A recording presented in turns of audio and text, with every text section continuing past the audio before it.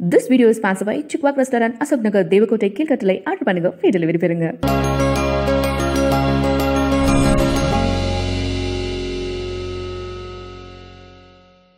இயற்கையை மருந்து சேனலுடைய மேலும் பல பதிவுகளை தெரிந்து கொள்ள இந்த சேனலை சப்ஸ்கிரைப் செய்யவும் பெல் பட்டனை அழுத்தவும். மேலும் மருத்துவரின் ஆலோசனை பெற இந்த வீடியோவில் உள்ள எண்ணிற்கு தொடர்பு கொள்ளவும்.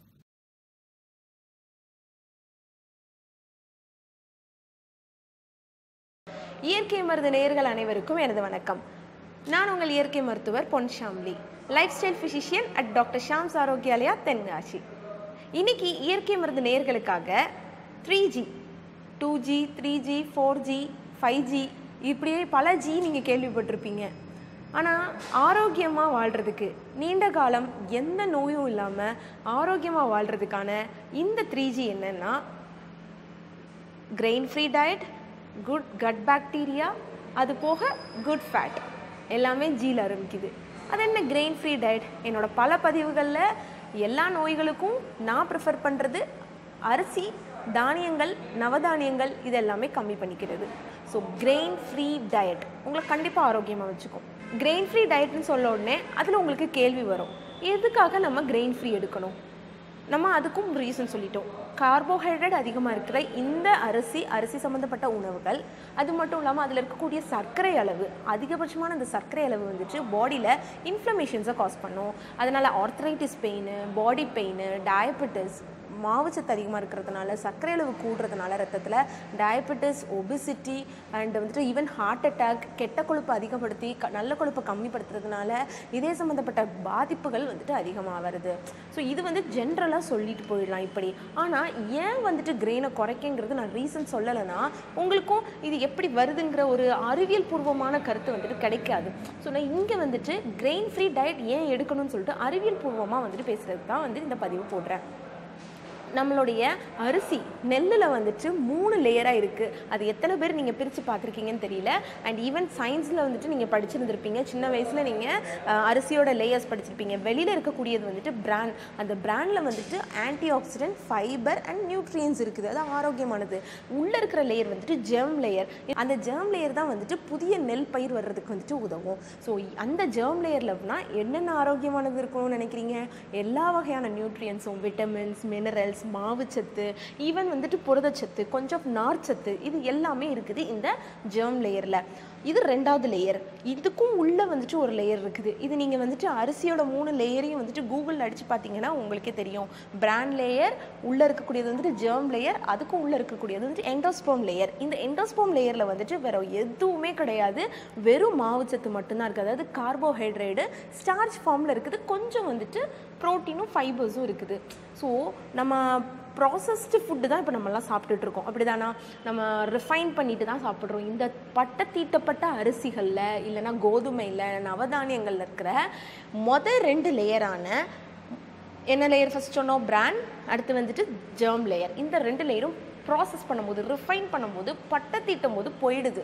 மீதி இருக்கிறது இந்த எண்டோஸ்போம் லேயர் எண்டோஸ்போம் லேயரில் நம்ம என்ன சொல்லியிருக்கிறோம்? மாவு சத்தும் புரதச்சத்தும் கொஞ்சம் நார்ச்சத்தும் தான் இருக்குது. அதுவும் ரொம்ப கம்மியாக நல்ல நியூட்ரியண்ட்டாக இருக்கக்கூடியதை நம்ம வந்துட்டு பட்டை தீட்டி மாடுக்கு தவிடாக போட்டுடுறோம். ஆரோக்கியம் இல்லாத குப்பையில் போட வேண்டியதை நம்ம சாப்பிட்றோம். ஸோ முழுசாக வந்துட்டு சாப்பிடுன்னு சொல்லுவாங்க. ஹோல் ட்ரெயினாக சாப்பிடுங்க. அப்படியே இந்த ரெட் ரைஸ் சாப்பிடுங்க. பட்டை தீட்டாத அரிசி வகைகளில் இருக்கக்கூடியது சாப்பிடுங்கன்னு சொல்லி கேள்விப்பட்டிருப்பீங்க. ஆனால் பல ஆய்வுகள் சொல்லியிருக்கு. ஈவன் இந்த பட்டை தீட்டாத அரிசிகள் சாப்பிட்டாலும் உங்களுக்கு பல நோய்கள் வராது அப்படிங்கிறதுக்கு என்ன நிச்சயமே இல்லை. எப்போ வேணாலும் எந்த நோயினாலும் வரலாம். ஏன்னா அதில் மறுபடியும் கார்போஹைட்ரேட் தான் அதிகமாக இருக்குது. நாற்பத்தி ரெண்டு டைப்பான ரிசர்ச்சஸை ரீட் பண்ணி அதுலேருந்து எடுத்த ரிவ்யூ என்ன சொல்லுதுன்னு பார்த்தீங்கன்னா அது ரிஃபைன்டு கிரெயினாக இருக்கலாம் பட்டை தீட்டின அரிசி வகைகளாக இருக்கலாம் இல்லை அப்படின்னா முழுசாக அந்த அரிசி எல்லா லேயர்ஸோடு இருக்கக்கூடிய ஆரோக்கியமான அரிசி வகைகளாக இருக்கலாம். இல்லை அப்படின்னா வந்துட்டு இந்த ரெண்டையும் தவிர்த்துட்டு ரொம்ப ஆரோக்கியமாக நான் நவதானியங்கள் சாப்பிட்றேன் அப்படின்னு சொல்லிட்டு இருக்கலாம். இந்த எதுவாக இருந்தாலும் அது எண்ட் ஆஃப் த ஸ்டேஜில் கெட்ட கொழுப்பாக தான் போய் படிய போகுது. அதுவும் எப்போவும் பார்த்திங்கன்னா அளவுக்கு அதிகமாக எடுக்கும்போது. ஸோ இந்த ரிசர்ச்சில் வந்துட்டு என்ன சொல்லியிருக்காங்கன்னா ஒரு நாளைக்கு நாலு சர்விங் நாலு தடவையாக பிரித்து மூணு வேளை உணவு எடுக்கிறீங்களான்னா மூணு வேளையாக பிரித்து கண்டிப்பாக தொண்ணூறு கிராம் 90 கிராமுக்கு மேலே ரைஸோ ரைஸ்லேருந்து செய்யப்பட்ட உணவுகளோ சாப்பிடக்கூடாது. ஸோ அதில் ஸ்ட்ராங்காக இருந்தீங்கன்னா diabetes obesity PCOD liver disease fatty liver இதே சம்மந்தப்பட்ட நோய்கள் அதனால் வரக்கூடிய பாதிப்புகள் கண் தொந்தரவுகள் விட்டமின்ஸ் குறைபாடுகள் நியூட்ரியன் குறைபாடுகள் மால் நியூட்ரிஷன் இப்படி எதுவுமே வராது. ஏன்னா நம்ம ஆரோக்கியமாக சாப்பிட போகிறது இப்போ நம்ம 90 கிராம் தான் சாப்பிட்றோன்னா கண்டிப்பாக நமக்கு பசிக்கும். ஸோ அதை நம்ம ரீப்ளேஸ் பண்ணி நம்ம என்ன சாப்பிடுவோம்? கண்டிப்பாக காய்கறி பழங்கள் முட்டை முட்டையிலேருந்து வரக்கூடிய அந்த மஞ்சக்கரு அடங்கிய முட்டை அதில் இருக்கக்கூடிய சத்துக்கள் எல்லாமே கிடைக்கும். அது போக வந்துட்டு ஈவன் நட்ஸு சீட்ஸு பாலும் பாலும் சார்ந்த உணவுகள் நல்ல கொழுப்படங்கிய பாலாடை நெய் வெண்ணெய் இது எல்லாமே எடுத்துப்போம் ஸோ ரைஸோட குவான்டிட்டி ஒரு நாளைக்கு தொண்ணூறு கிராம் தான் எடுத்துக்கணும். அதை நீங்கள் மூணு சர்விங்காக பிரிச்சுக்கலாம். ஸோ இப்படி எடுத்துகிட்டு வந்தால் ஆரோக்கியமாக இருக்கலாம். எந்த ஒரு பிரச்சனையும் வராது. அதுவும் ஹோல் கிரெயினாக ரிஃபைண்டெல்லாம் ஹோல் கிரெயினாக எடுத்துக்கிறது ரொம்ப அவசியம் சொல்கிறாங்க இப்போ உங்களுக்கு மொத ஜி புரிஞ்சிருச்சு அப்படின்னு நான் நினைக்கிறேன். ஸோ மொத ஜிங்கிறது ரிஃபைண்டு ப்ராசஸ்ட் ஃபுட் ஐட்டம்ஸ் வந்துட்டு சாப்பிடக்கூடாதுன்னு சொல்லியிருக்கோம். சில கண்ட்ரீஸில் மெயின்லி யூஎஸ் கண்ட்ரீஸில் வந்துட்டு என்ன சொல்கிறாங்கன்னா அவங்க வந்துட்டு இந்த ரிஃபைண்டு ரைஸஸ்க்கு பதிலாக அது என்ரிச் ரைஸ் சொல்கிறாங்க அதாவது என்ரிச் பண்ணி ஆட் பண்ணிக்கிறாங்க நியூட்ரியன்ஸை இப்போ ப்ராசஸ் பண்ணும்போது லாஸ் ஆகும்ல சில நியூட்ரியன்ஸு அதை வந்துட்டு அவங்க ஆட் பண்ணுறாங்க அதுதான் என்ரிச்டு நியூட்ரியன்ஸு ஸோ இந்த என்ரிச்டு நியூட்ரியன்ஸில் மெயின்லி அவங்க வந்துட்டு விட்டமின் பியையும் அயனையும் மட்டும்தான் சேர்க்குறாங்க. ஃபைபர்ஸ் அங்கே சேர்க்குறதில்ல. ஓகேவா? ஈவன் பட்டை தீட்டும் போது அங்கே இருக்கிற ஃபைபர்ஸ் எல்லாம் போயிடுது. நல்ல ஃபைபர்ஸ் எல்லாமே அதில் வந்து போயிடுது. ஸோ அங்கே எங்கேயுமே ஆரோக்கியமே இல்லை. நீங்கள் அதனால் பட்டை தீட்டின அரிசியையோ இல்லை அப்படின்னா இந்த என்ரிச்சு ரைஸோ நான் சாப்பிட்றேன்னு சொன்னாலும் அங்கே மிஸ்டேக் மிஸ்டேக் தான். அது சாப்பிட்றதுனால ஒரு நெக்லிஜிபிள் அமௌண்ட் வெறும் ஒரு ஒரு சதவீதம் இல்லைன்னா ரெண்டு சதவீதம் தான் உங்களுக்கு நல்லது கிடைக்க போகுது. ஹண்ட்ரட் பர்சன்டேஜ் நான் நீண்ட காலம் எந்த நோயும் இல்லாமல் ஆரோக்கியமாக வாழணும்னு நினச்சிங்கன்னா நீங்கள் வந்துட்டு கண்டிப்பாக கிரெயின் ஃப்ரீ டயட் எடுக்கணும். ஸோ ரெண்டாவது ஜி என்னன்னு பார்த்தீங்க அப்படின்னா கட் பாக்டீரியா ஸோ இந்த கட் பாக்டீரியா என்ன பண்ணுது? நம்ம ஆல்ரெடி நிறைய பதிவுகளில் சொல்லியிருக்கிறோம். உங்களோட பெருங்குடலில் இருக்கக்கூடிய நல்ல நுண்ணுயிர்கள் நம்மளுடைய துணை ஆணுக்கு பெண் இல்லை பெண்ணுக்கு ஆண் துணை கிடையாது. நம்மளுடைய உடம்புல இருக்கிற துணை கட் பாக்டீரியாஸ் பெருங்குடலில் இருக்கக்கூடிய இந்த கட் பாக்டீரியாஸ் வந்துட்டு நார்மலாக ஹியூமன் செல்ஸ் வந்துட்டு கம்மியாக தான் இருக்குது இதுலேருந்து அஞ்சு மடங்கு அதிகமாக நம்மளோட பெருங்குடலில் பாக்டீரியாஸ் இருக்குது. அப்படிங்கிறப்போ இது எவ்வளோ ஒரு இம்பார்ட்டண்ட்டான ஒரு பார்ட்னர் நமக்கு அப்படின்னு பாருங்கள் இதோட ஃபங்க்ஷன்ஸ் வந்துட்டு ஒன்று ஒன்றும் ஒவ்வொரு உறுப்புகளுக்கும் தேவையான ஃபங்க்ஷன்ஸ் பார்த்துக்கோங்க. எல்லாருக்குமே கண் ஒரு பார்ட் மூக்கு வந்துட்டு பார்ட் ஈவன் கை வந்துட்டு நம்மளை பாடியில் ஒரு பார்ட் பார்ட்ஸ் ஆஃப் த பாடின்னு தெரியும். ஆர்கன் ஆர்கன் சொல்கிறப்போ நமக்கு இன்டர்னலாக எனக்கு கல்லீரல் இருக்குது கணையம் இருக்குது கிட்னி இருக்குது அப்படின்னு சொல்லிட்டு நம்மளுக்கு அந்த உறுப்புகள் எல்லாமே வந்துட்டு தெரியும். Organs parts of the body எல்லாம். ஒரு ஆர்கனை நம்ம மறந்துடுறோம். நம்மளுடைய பெருங்குடல் பெருங்குடலை நம்ம யூஸ்வலி கட் அப்படின்னு சொல்லுவோம். கட்டில் இருக்கக்கூடிய இந்த நல்ல நுண்ணுயிர்களை தான் மைக்ரோபயோட்டா அவங்க வாழக்கூடிய அந்த சூழ்நிலையை மைக்ரோபயோட்டா கட் மைக்ரோபயோட்டா இது வந்துட்டு ஆரோக்கியமாக இல்லைன்னா நம்ம பலதரப்பட்ட நோய்களுக்கு வந்துட்டு ஆளாகும் ஸோ அவங்கள ஆரோக்கியமாக வச்சுக்கிறதுக்கு அவங்களுக்கு உணவு கொடுக்கணும். ப்ளஸ் அவங்களுடைய என்விரான்மெண்ட் வந்துட்டு ஹெல்த்தியாக இருக்கணும். அந்த என்விரான்மெண்ட் ஹெல்த்தியாக இல்லைனா கண்டிப்பாக நம்ம நிறைய டாக்ஸின்ஸ் ரிலீஸ் ஆகி அந்த டாக்ஸின்ஸ்னால நமக்கு நோய்கள் வரும். இதுக்கு எக்ஸாம்பிள் நிறைய நோய்கள் இருக்குது. இப்போ கட் ரிலேட்டட் இஷ்யூஸில் வந்துட்டு ஈவன் சம்டைம்ஸ் வந்துட்டு bronchial ஆஸ்துமா இல்லை அப்படின்னா வந்துட்டு அலர்ஜிக் ப்ராப்ளம்ஸ் ஸ்கின் அலர்ஜியாக இருக்கலாம் இல்லைனா ரெஸ்பிரேட்டரி அலர்ஜியாக இருக்கலாம் சொரியாசிஸாக இருக்கலாம் ருமேட்டட் ஆர்த்ரைட்டிஸாக இருக்கலாம் முடக்குவாதமாக இருக்கலாம். இப்படி அடுக்கிக்கிட்டே போகலாம் கட் ரிலேட்டட் இஷ்யூஸில் ஈவன் ஜீரண கோளாறுகள் ஐபிஎஸ்ன்னு சொல்லக்கூடிய இரிட்டபிள் பவல் சின்ட்ரோம்ங்கிற பெருங்குடல் அலர்ச்சி நோய் இல்லை அப்படின்னா inflammatory bowel disease ulcerative colitis வரலாம் க்ரோன்ஸ் டிசீஸ் வரலாம் இது எல்லாமே கட் ரிலேட்டட் இந்த கட் மைக்ரோபயோட்டாவை நம்ம கண்டிப்பாக பார்த்துக்கணும் நல்லாவே. அவங்களுக்கான உணவு வேறு ஒன்றும் இல்லை. நம்மளுடைய ஃபைபர் நார்ச்சத்து. இந்த நார்ச்சத்தை கொடுக்கறதுனால அவங்க ஆரோக்கியமாக இருக்காங்க. ஆரோக்கியமான செக்ரேஷன்ஸை கொடுக்கறதுனால மட்டும் இல்லாமல் அவங்க பல உறுப்புகளுடைய ஆர்கன் ஃபங்க்ஷனுக்கு வந்துட்டு அவங்க ஹெல்ப்ஃபுல்லாக இருக்கிறாங்க. ஸோ இதுக்கும் மேலே சிம்பிளாக சொல்லணும்னு பார்த்தீங்கன்னா இந்த காலகட்டத்தில் அதிகமாக நம்ம யூஸ் பண்ணுற வார்த்தை வந்துட்டு நான் ரொம்ப ஸ்ட்ரெஸ்ஸாக இருக்கேன். எனக்கு ரொம்ப டிப்ரெஷன் இருக்குது டாக்டர் எனக்கு மென்டல் ப்ரெஷர் தாங்க முடியல. நான் ரொம்ப டக்குனு பர்ஸ்ட் அவுட் ஆகிறேன்.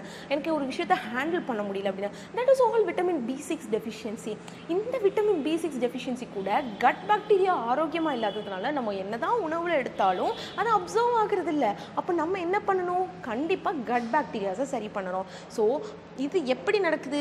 ஏன் கட் பாக்டீரியாவை சரி பண்ணணும்? விட்டமின் சிக்ஸ் அப்சர்வ் பண்ணால அதனால் அதனால நம்ம கட் பாக்டீரியாவை சரி பண்ணணும். இன்னொரு ஒரு விஷயம் விஷயத்தினாலையும் கூட வந்துட்டு நமக்கு ஸ்ட்ரெஸ் டிப்ரெஷன்லாம் வரும். செரோட்டோனின்ங்கிறது ஒரு ஹாப்பி ஹார்மோன் அது எல்லாருமே கேள்விப்பட்டிருப்பீங்க. இந்த செரோட்டோனன் ஹார்மோன் பிரெயினில் தான் வந்துட்டு உற்பத்தி ஆகுதுங்கிறது எல்லாருடைய தப்பான எண்ணம். அது ஒரு பெரிய மிஸ்கன்செப்ஷன் ஸோ இந்த ஹாப்பி ஹார்மோன் வந்துட்டு நமக்கு கட் அதாவது பெருங்குடலில் வந்துட்டு செக்ரேட் ஆகுது. நம்ம எப்போல்லாம் வந்துட்டு செரோட்டோனின் செக்ரேட் பண்ணுறோமோ அப்போல்லாம் நமக்கு வந்துட்டு பெரிஸ்டால்சிஸ் மூமெண்ட்ங்கிறது நடக்கும். இந்த பெரிஸ்டால்சிஸ் மூமெண்ட் எங்கன்னா இந்த பெருங்குடலில் இருக்கக்கூடிய மலமை வந்துட்டு இப்படி மூவ் பண்ணி நமக்கு மலம் வெளியேறதுக்கு உதவுது மொத மொத வேலை செரோட்டோனின் பண்ணுது. அதுக்கப்புறம் தான் அது நர்வ்ஸ் வழியாக ட்ராவல் பண்ணி பிரெயினுக்கு போய் நியூரோ டிரான்ஸ்மிட்டராக அது வந்து ஹாப்பி நான் நல்லா இருக்கிறேன் நான் ஹாப்பியாக இருக்கேன் நான் சந்தோஷமாக இருக்கேன் எனக்கு ரொம்ப பிடிச்சிருக்கு. எனக்கு இது வேணும். நான் இப்படி நான் வந்துட்டு பெரிய ஆள் ஆவேன் அப்படின்னு சொல்லிட்டு ஒரு இந்த பாசிட்டிவ் வைப்ரேஷன் கொடுக்குறது இந்த செரோட்டோனின் தான். இந்த இந்த செரோட்டோனின் தான். ஸோ இது எல்லாருக்குமே தெரிஞ்சிருக்கணும். இந்த கட் வந்துட்டு எவ்வளோ பெரிய முக்கியமான ஒரு ஆர்கன் சொல்லிட்டு. ஸோ மறக்காதீங்க உங்களோட கட் பாக்டீரியாஸை உங்களோட முதல் பார்ட்னர் அவங்க தான். அவங்களுக்கு தேவையான உணவுகளையும் அவங்களுக்கு தேவையான சூழ்நிலையும் நீங்கள் உருவாக்கி கொடுங்க. நாக்குக்காக அடிமையாகி நீங்கள் கண்டிப்பாக உணவு முறைகளை தப்பாக எடுத்துக்காதீங்க. ஆரோக்கியமான உணவு முறைகள் எடுங்க ஆரோக்கியமாக வாழுங்க. மூணாவது ஜி வேறு ஒன்றும் இல்லை. குட் ஃபேட் நம்ம அடிக்கடி சொல்கிறது தான். உணவில் நல்ல கொழுப்பு எடுத்துக்கோங்க. கொழுப்பு அடங்கிய உணவுகள் எடுத்தால் நான் குண்டாயிடுவேன். கொழுப்பு இருக்க உணவுகள் எடுத்தால் நான் வந்துட்டு கொலஸ்ட்ராலுக்கு ஆளாயிடுவேன் அதிக கொழுப்பு இருக்கக்கூடிய உணவுகள் எடுத்தால் நான் வந்துட்டு டயபெட்டிஸ்க்கு ஆளாயிடுவேன் இதெல்லாம் தப்பான காரணங்கள். இந்த மிஸ்கன்செப்ஷனை தூக்கி தூர போட்டுட்டு நல்ல கொழுப்பு அடங்கிய உணவுகள் எடுங்க.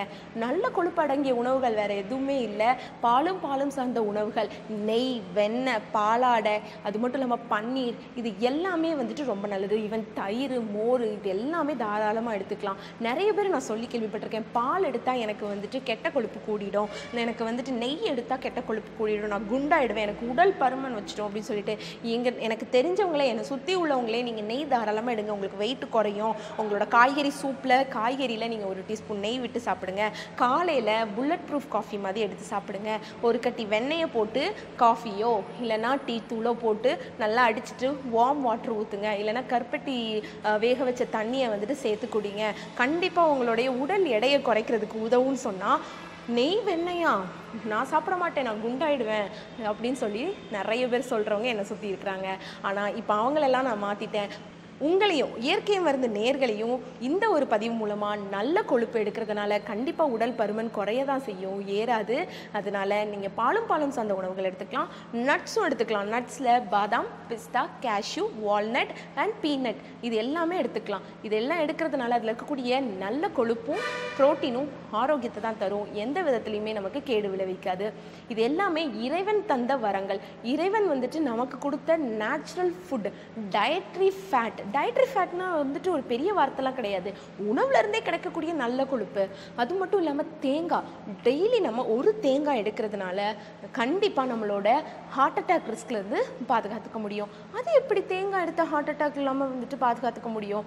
ஆமாங்க கண்டிப்பாக தேங்காயில் இருக்கக்கூடிய எம்சிடி ப்ளஸ் வந்துட்டு லோரிக் ஆசிட் இந்த ரெண்டும் நீங்களே உங்களுடைய மொபைல் எடுத்து கூகுளில் சர்ச் பண்ணி பார்க்கலாம்.